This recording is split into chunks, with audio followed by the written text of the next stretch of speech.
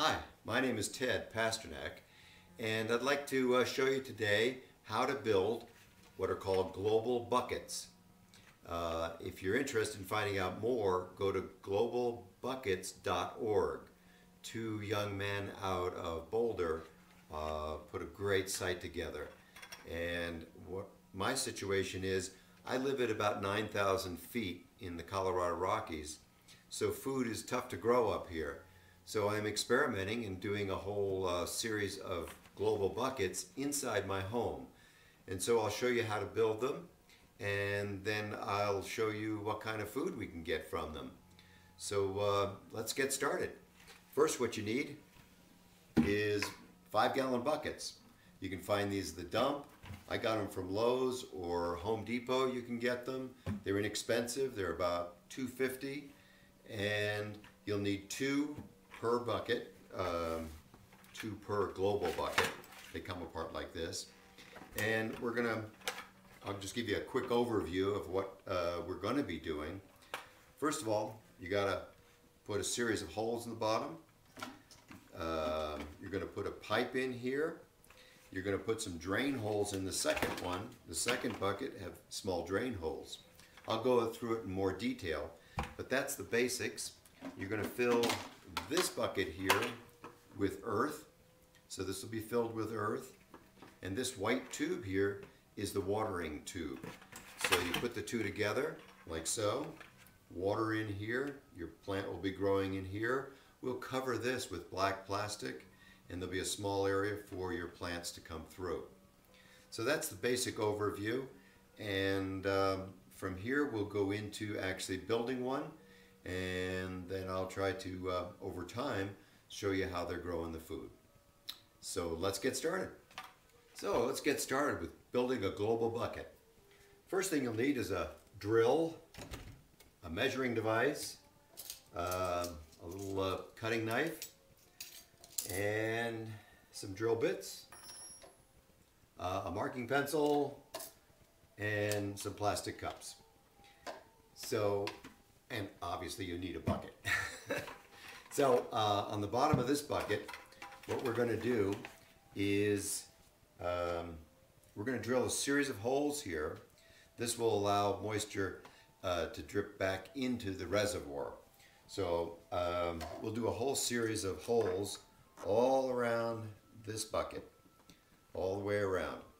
And then right here I'm going to cut and put in our watering pipe, which in this case this is a inch and a half uh, PVC pipe very inexpensive, less than $4 for 10 feet of it.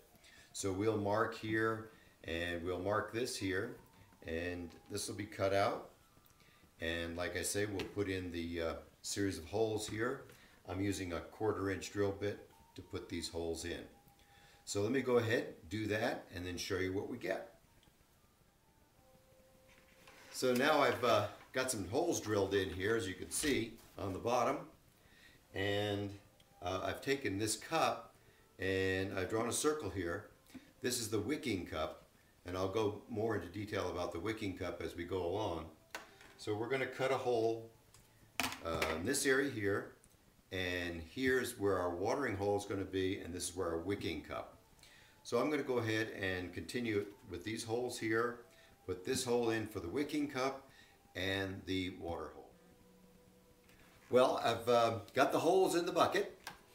As you can see, there are a whole series of quarter inch drill holes here that will allow the uh, bucket to drain into the reservoir. I have here for the wicking cup and here, this hole here is for the watering tube. So this tube will go in, the watering tube will go in here like so and go into the reservoir below. And I have my wicking cup, which has been sliced. I'll show you that later.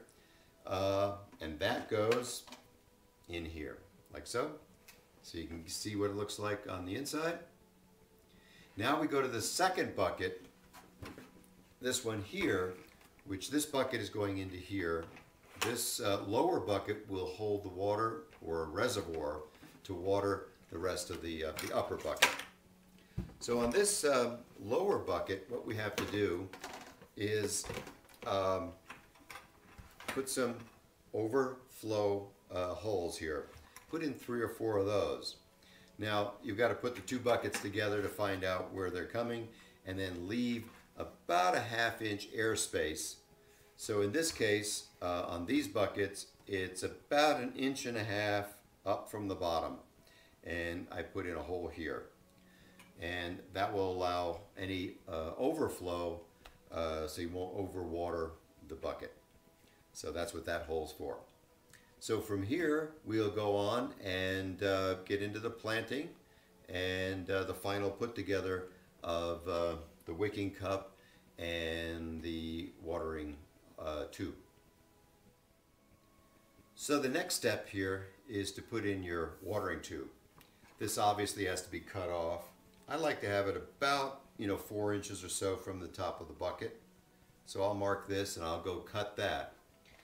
And what I've done here is I put two small holes uh, right into the bucket and I've gotten some cable ties and that will go right, I'll cable tie this so that it's secure. And then this bucket will go into the reservoir bucket like so. And then I mentioned to you about the wicking cup. What I've done here is I've got a series of slices, about eight different slices that I've used a knife to slice this. And that will go in uh, the middle hole here like so.